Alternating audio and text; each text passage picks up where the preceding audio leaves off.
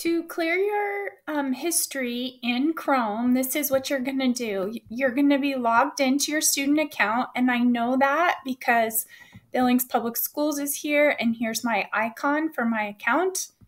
And then I'm going to go to these three dots up here in the right hand corner. And when I do that, this menu comes up.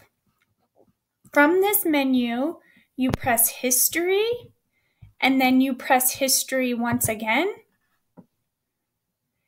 And from here on the left hand side, you're going to see clear browsing data. When you click on clear browsing data, you're going to want to change the time range to be all time and then clear data. Once you do this, it will clear up a lot of things that are bogging down your Amplify, your StudySync, or your other programs you might run.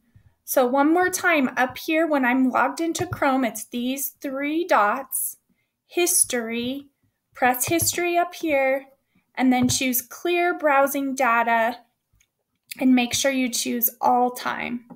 You could go to Advanced if you want to and choose All Time but it should also work in basic.